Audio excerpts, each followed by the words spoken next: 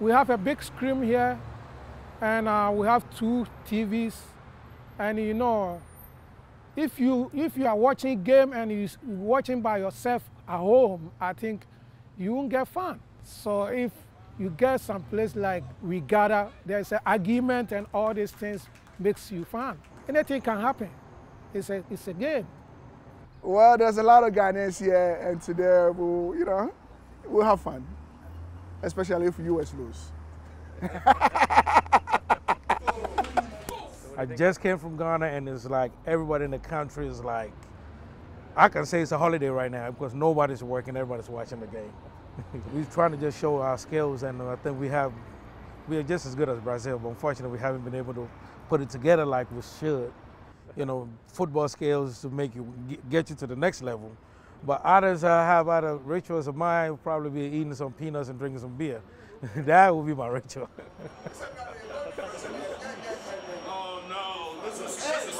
This is not good.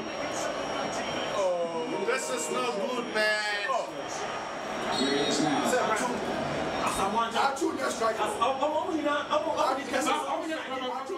I'll tell you that we have about 25 million people living in Ghana. Everyone is a coach. Yes, everyone is a coach. In Ghana, there's a lot of shouting, as you can see from the uh, Grace's restaurant that's how it is. Yeah. But uh, I've come to realize that uh, Americans have grown so much into soccer.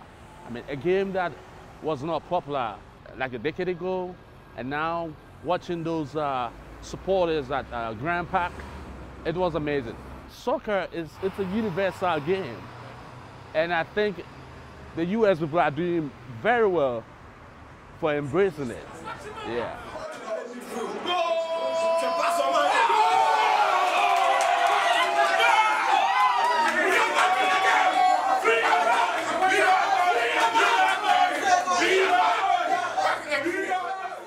I decided to uh, support Ghana this year because uh, I would say I'm living in a different con uh, continent.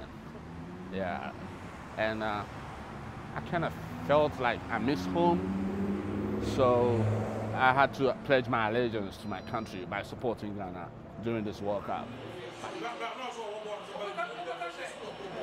We have to support them because this is not the first World Cup where we we still have more World Cup in front of us. Uh, if we support them, maybe uh, by next four years, they will do better. I would say we lost this game in the locker room before we came to the field. I wouldn't be sad if we go home. Yeah, but I'll be glad if the coach get fired. now Ghana is out, so we're all gonna support US now. Good. go US.